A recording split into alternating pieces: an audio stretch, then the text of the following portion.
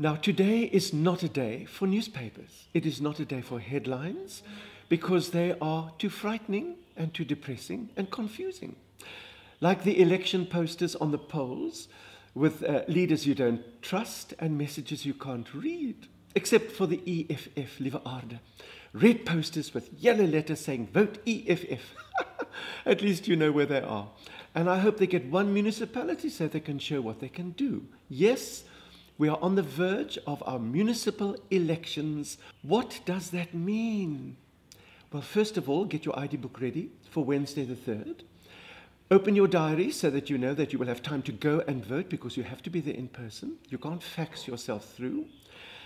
And why don't you just sit down now and make a list of all the things that the municipalities do for you?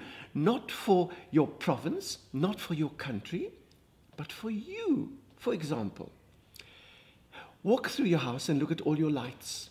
Okay? Eskom brings the electricity, but who makes it work in your house? The municipality. Go into your bathroom, switch on the taps, the water comes out. Donkey father does water. Yeah, but if it wasn't for the municipality, your water wouldn't be there. It'll be in the street. Walk into the street. What do you see? First of all, there are potholes.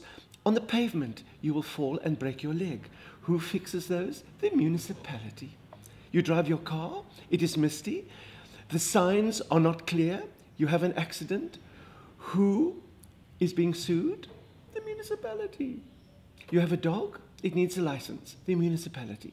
Yeah, your motorbike needs a license, the municipality.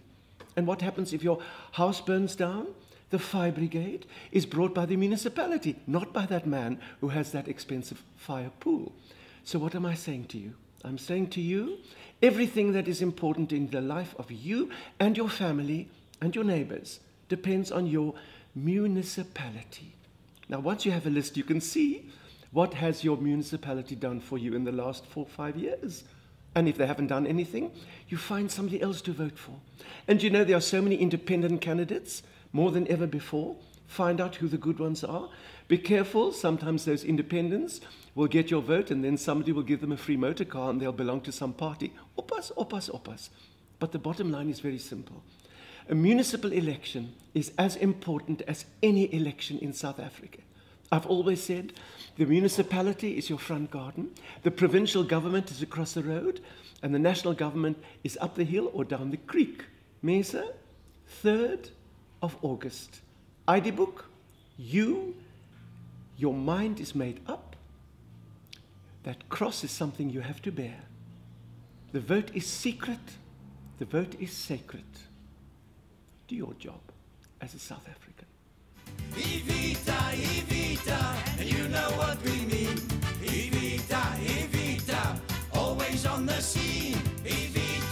Poseidon, oh Divita should be queen.